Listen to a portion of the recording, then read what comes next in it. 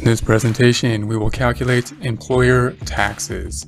We're here in our payroll register. It's important to note that the employer taxes won't necessarily be on the payroll register because they're not employee taxes. However, the calculations can Support accounting instruction by clicking the link below giving you a free month membership to all of the content on our website broken out by category, further broken out by course. Each course then organized in a logical, reasonable fashion, making it much more easy to find what you need than can be done on a YouTube page. We also include added resources such as Excel practice problems, PDF files, and more like QuickBooks backup files when applicable. So once again, click the link below for a free month membership to our website and all the content on it. Be based on the information from the register given the fact that they're based on employee taxes.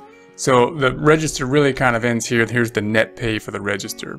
We're going to scroll to the left to pick up all the data that we're at. We currently have four employees. We've got the filing status, we've got uh, the, the hours and the wages, and then we finally got the total earnings here. And this is what where we need to start in order to calculate our taxes. We've got total earnings, we've got OASDI earnings, which could differ based on the cap at 128,400.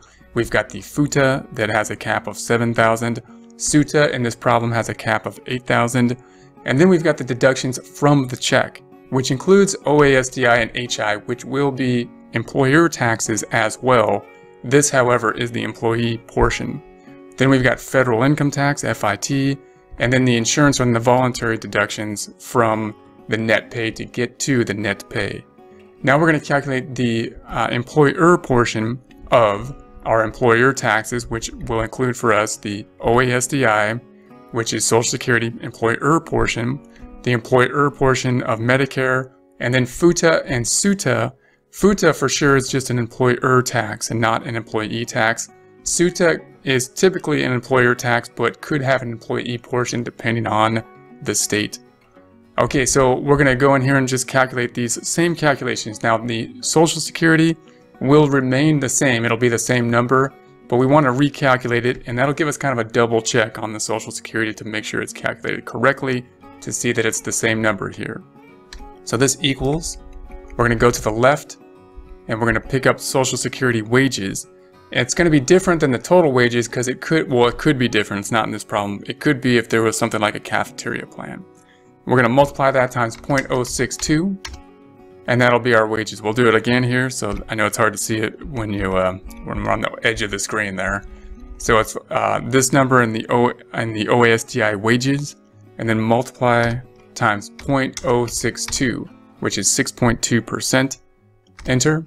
We'll do it two more times. We're going to say this equals the OASDI wages times 0.062. Enter. One more time, we're going to say this equals, scrolling over to the OASDI wages times 0.062, enter.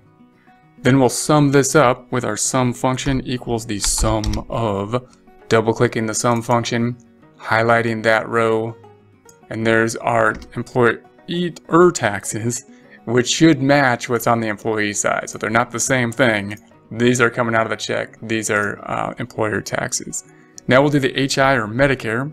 Same type of idea, we're going to say this equals, and we're going to scroll over and we're going to pick up total wages this time because there's no difference in this calculation of total wages and HI given there's no uh, cafeteria plan and there's no cap is the point here for the HI. So we're just going to pick up the total wages times, and we'll multiply that times 0.0145. We'll do that again, where here we're going to say this equals, and we're going to go over to total wages times 0.0145. And you can see that up here in the formula bar up top. And we'll do it two more times, equals, scrolling over to the left. I think I might have said one more time last time, but two more times here. Times 0.0145. And you can see that up top here. Enter. And last time, this is the last time for the Social Security, or Medicare. We'll pick up the total wages times 0.0145. There we have that. Now we're going to sum this up. We're going to say equals SUM, double click that sum function, and pick up the Medicare wages. Once again, it's not the same, but it will match here. I mean, it's the same number, but it's not the same taxes. We're going to have to pay them twice. Or the employee will pay them and the employer will pay their portion. Okay, so now we're going to do the FUTA. So this is the this is an employer only tax, not an employee tax. It's going to have a different cap. So we're going to go to FUTA. I'm going to say equals. And instead of picking up total earnings, we're picking up the capped earnings, which oftentimes will be much less. Uh, and here we can see that on our last employee who has hit the cap.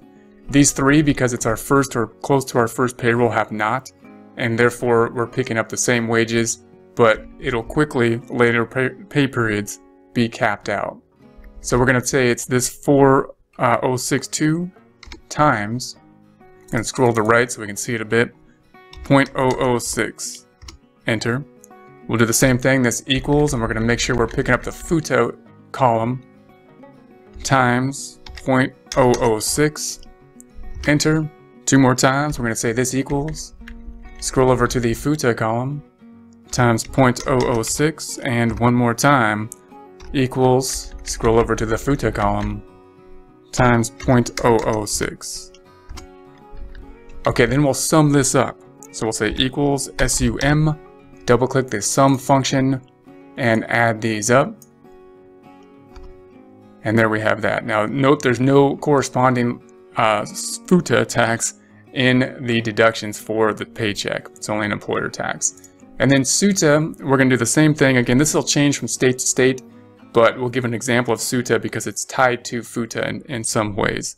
So SUTA, we're going to say equals, and we're going to go to the SUTA wages now which will typically be similar. In this case, we have an $8,000 cap, which we can see in our last employee that's going to reach that cap. Uh, however, uh, it could change from state to state, but typically it'll mirror in some way the same type of rules. So we're going to, uh, and I didn't multiply times the rate. So we got the number there times 0.054, and that will change from state to state as well. So we're going to say, once again, equals we're going to go to SUTA wages with that $8,000 cap times, to scroll to the right a little so we can see it, 0.054, enter.